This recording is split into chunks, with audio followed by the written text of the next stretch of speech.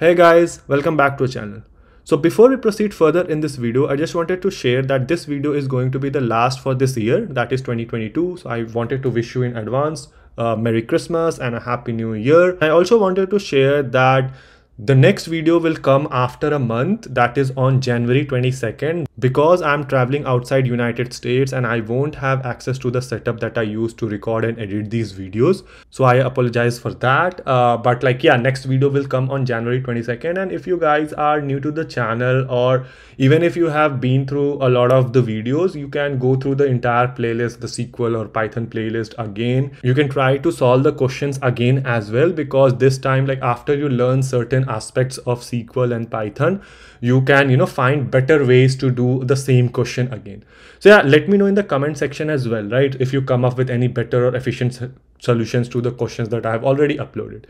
So yeah, uh, let's move into the video. So in this video, I'm going to solve this question on Scratch regarding top businesses with most reviews, both using Python as well as MySQL and try to walk you through how we can develop solutions to such problems. The difficulty level of this question is easy and this question has been asked in Yelp interviews. Okay, let's jump right in. Find the top five businesses with most reviews Assume that each row has a unique business ID such that the total reviews for each business is listed on each row output the business name along with the total number of reviews and order your results by the total reviews in descending order. So basically you are given a data frame called Yelp business and the expected output is a pandas data frame with two different columns, the name and review count and it should be ordered in decreasing manner and the top five, right? So top five businesses with the maximum number of reviews. So let's preview this data frame called Yelp business, right? So you have a business ID, which is unique, uh, name, name of the business business, right? Neighborhood address and all that. Then the number of reviews, right? So basically what we need to do is we need to group by the name, right? Group by the name. And then from this uh, column called review count, you need to sum them, right? And then order in a decreasing manner and only keep the first five, right? So what we can do is from this data frame called Yelp business, let's group by, right? So let's group by the column name right and we want that as a column so we need to write as index is equal to false and then from the column called review count right called review count we need to calculate the sum right. Let me run this let's see what we are getting.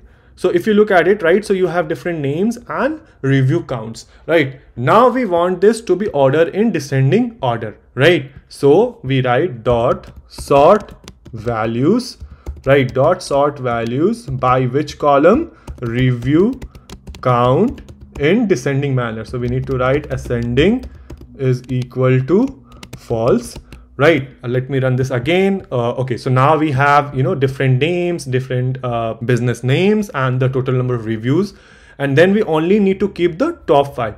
Now there are various ways you can do it. You can use the dot loc method. You can use the i dot iloc method. You can use dot head because this is a data frame at the end right? So you can use dot head uh, it will give you by default the top five rows right? You can even use the n largest right? Like whatever suits you uh, like the easiest is to just you know keep the top five rows. So what you can do is you can just say okay start from the zeroth index and go to the fifth but exclude that right? So it is going to be 0 1 2 3 and 4 right? Now let me run this. So now if you look at it you have the top five businesses with the maximum number of reviews which is exactly same as the expected output. Yeah, so let me go ahead and submit it to see if it passes all the test cases. So yeah, everything is green and this is how we do it.